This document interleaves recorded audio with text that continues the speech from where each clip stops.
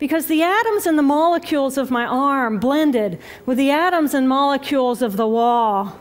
And all I could detect was this energy, energy. And I'm asking myself, what is wrong with me? What is going on? And in that moment, my brain chatter, my left hemisphere brain chatter, went totally silent. Just like someone took a remote control and pushed the mute button, total silence. And at first, I was shocked to find myself inside of a silent mind. But then I was immediately captivated by the magnificence of the energy around me. And because I could no longer identify the boundaries of my body, I felt enormous and expansive. I felt at one with all the energy that was, and it was beautiful there. And then all of a sudden, my left hemisphere comes back online and it says to me, Hey, we got a problem. We got a problem. We got to get some help. And I'm going, Oh, I got a problem. I got a problem. So it's like, Okay, okay, I got a problem. But then I immediately drifted right back out into the consciousness. And I affectionately refer to this space as La La Land but it was beautiful there. Imagine what it would be like to be totally disconnected from your brain chatter that connects you to the external world. So here I am in this space, and my job and any stress related to my, my job, it was gone. And I felt lighter in my body. And imagine all of the relationships in the external world and any stressors related to any of those, they were gone. And I felt this sense of peacefulness. And imagine what it would feel like to lose 37 years of emotional baggage. Oh, I felt euphoria. Euphoria.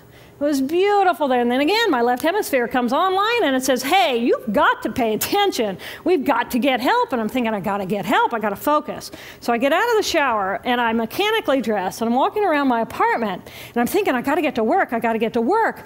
Can I drive? Can I drive? And in that moment, my right arm went totally paralyzed by my side.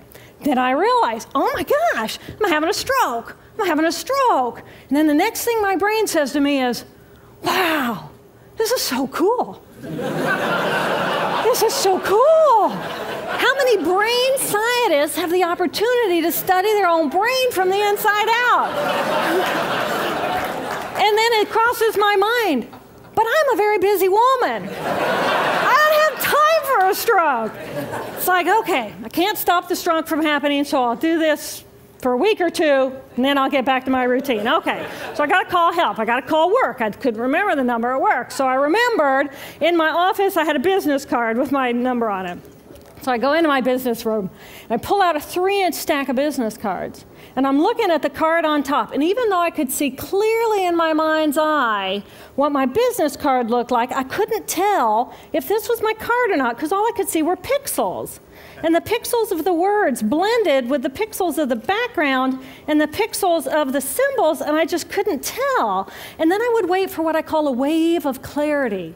And in that moment, I would be able to reattach to normal reality. And I could tell that's not the card, that's not the card, that's not the card. It took me 45 minutes to get one inch down inside of that stack of cards. In the meantime, for 45 minutes, the hemorrhage is getting bigger in my left hemisphere. I do not understand numbers, I do not understand a telephone, but it's the only plan I have. So I take the phone pad and I put it right here. I take the business card, I put it right here, and I'm matching the shape of the squiggles on the card to the shape of the squiggles on the foam pad. But then I would drift back out into la la land and not remember if when I come back if I'd already dialed those numbers.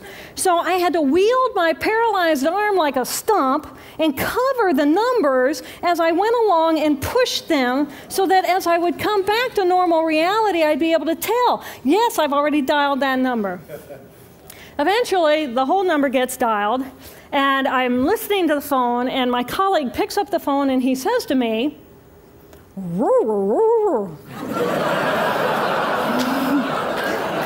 I think to myself, oh my gosh, he sounds like a golden retriever. And so I say to him, clear in my mind, I say to him, This is Jill, I need help. And what comes out of my voice is,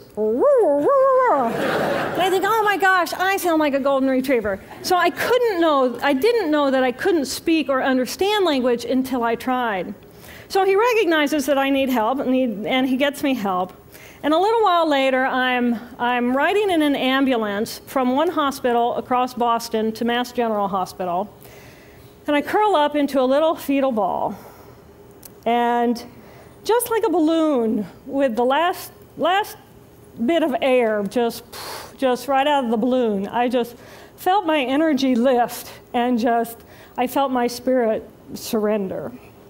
And in that moment, I knew that I was no longer the choreographer of my life, and either the doctors rescue my body and give me a second chance at life, or this was perhaps my moment of transition. When I woke later that afternoon, I was shocked to discover that I was still alive